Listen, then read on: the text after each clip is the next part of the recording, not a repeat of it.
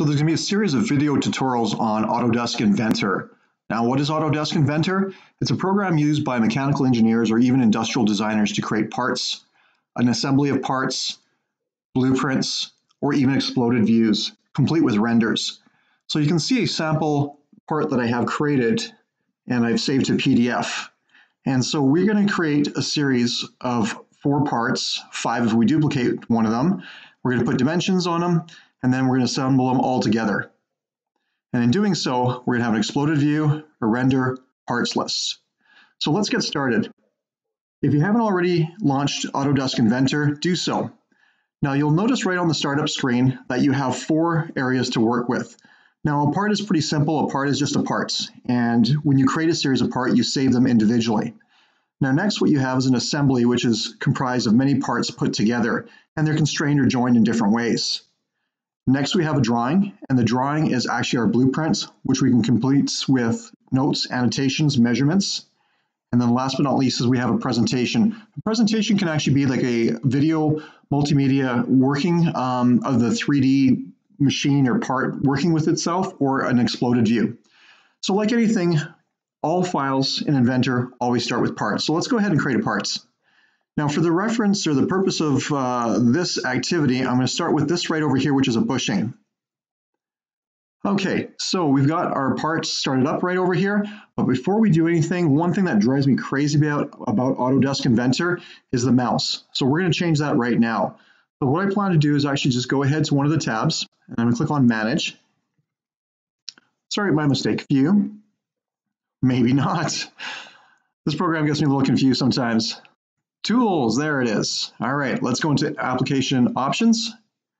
And then what I want to do is on the display tab, make sure that I reverse the direction. If I don't do that, my zoom in with my scroll wheel is going to be the opposite of everything that you've learned so far. So let's go ahead and apply that and then just close that out.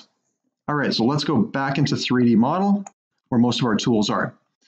Now, Inventor works a lot like SketchUp if you ever used that before. So you always start with two-dimensional shapes and you can create three-dimensional forms. And then you can actually create more shapes or sketches on individual faces and then create 3D forms from there.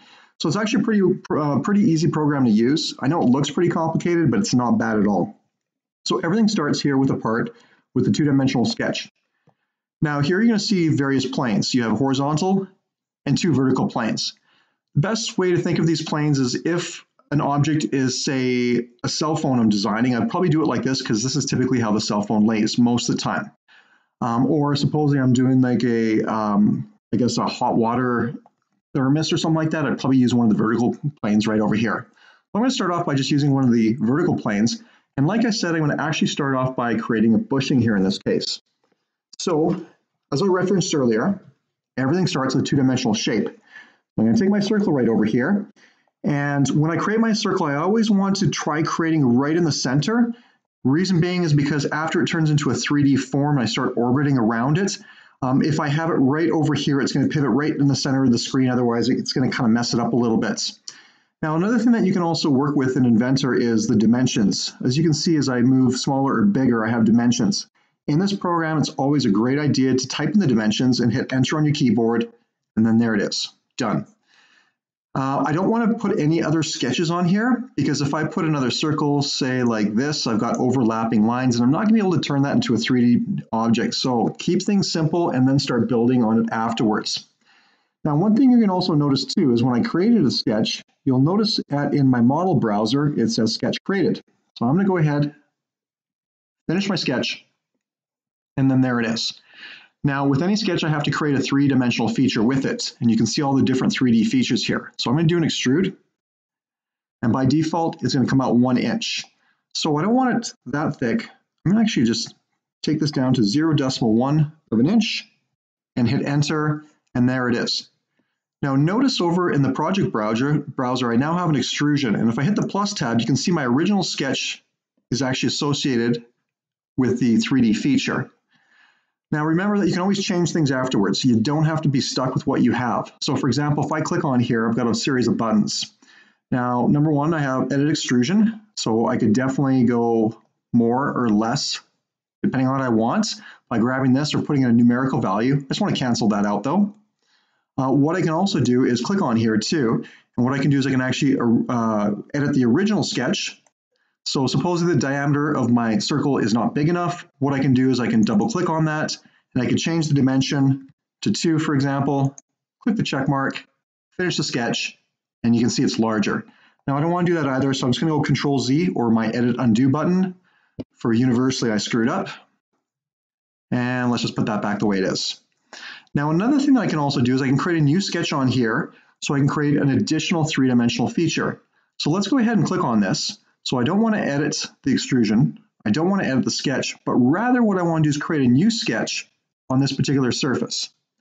All right, so from here, what I want to do is I want to create another circle, and that circle is going to be a diameter of 0 0.82 inches. So let's go ahead, 0 0.82, enter, and then there it is.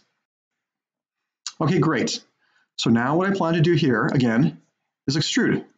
So let me click on extrude, and there it is. So I'm going to bring the extrusion amount this time up to 0 0.9. Click on OK, and you can see how that comes out. Let's see how we're doing compared to our blueprints.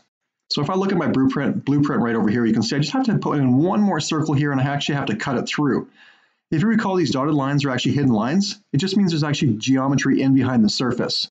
And you can see this is the back view of this bushing here too. Okay, so you'll notice that I have my second extrusion and my second sketch that I can just do a mouse over. So again, with this extrusion, I can edit it I can change the sketch.